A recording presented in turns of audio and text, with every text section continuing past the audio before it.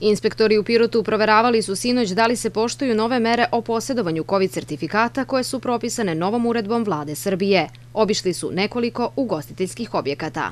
Nakon 22 sata su kontrolisali dva lokala koje su radila i u njima su izvršili proveru digitalnog certifikata kod lica koja su zatečena. Sva lica koja su zatečena su imale validne digitalne certifikate, tako da mogu da kažem da nije bilo nikakvih problema, znači nije bilo ni nekog otpora, niti kažem ljudi su bili spremni. Većina ugostitelja u Pirotu i celoj Srbiji odlučila je da skrati radno vreme. Mnogi lokali bili su zatvoreni posle 22 sata. Namo se više isplati da zatvorimo u 10, u 22, nego da radimo i da tražimo propustke, jer mali broj, pogotovo mladih, vakcionisano i mm, ne bi imalo smisla i interesa da radimo i samo da rizikujemo.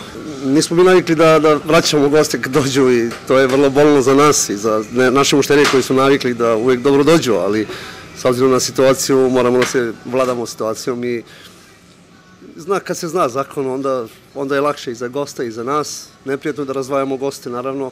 COVID sertifikatima smatraju se potvrde o vakcinaciji sa dve doze vakcine, odnosno tri, ukoliko je prošlo više od sedam meseci od primanja druge. U ove propusnice spadaju i negativan PCR test, ne stariji od 72 sata, negativan antigenski test koji važi 48 sati ili potvrda o preleženom COVID-u u prethodnih sedam meseci. Za strance je validan EU COVID sertifikat, kao i sertifikati drugih zemalja sa kojima Srbija ima potpisan sporazum. Ove mere za sada se odnose samo na one koji posle 22 sata borave u kafićima, restoranima i barovima i zbog toga su oprečni stavovi o njihovoj svrsishodnosti.